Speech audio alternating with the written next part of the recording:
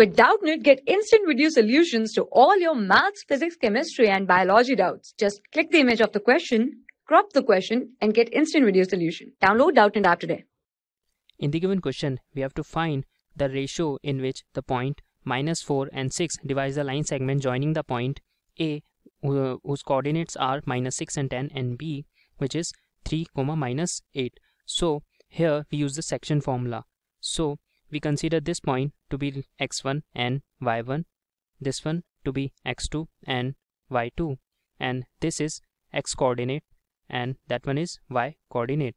So here we use the section formula. So using section formula section formula we know that the coordinate of point x given by x1 m2 plus x2 m1 upon m1 plus m2 where m1 and m2 are the ratio. So here first we consider the ratio. So let the ratio let the ratio m1 is to m2 b m1 is to m2 b k is to 1 k is to 1 so that's our ratio that we have considered.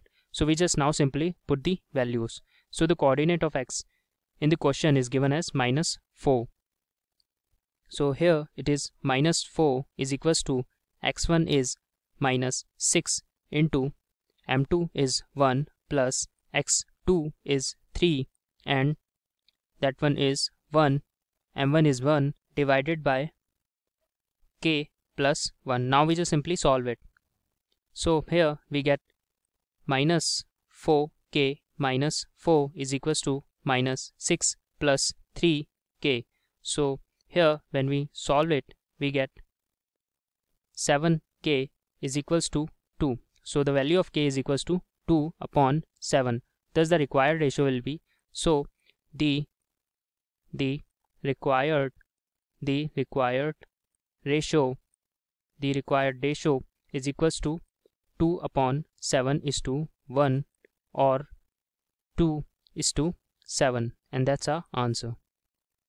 For class 6 to 12, IIT JEE and NEET level. Trusted by more than 5 crore students. Download Doubtnut app today.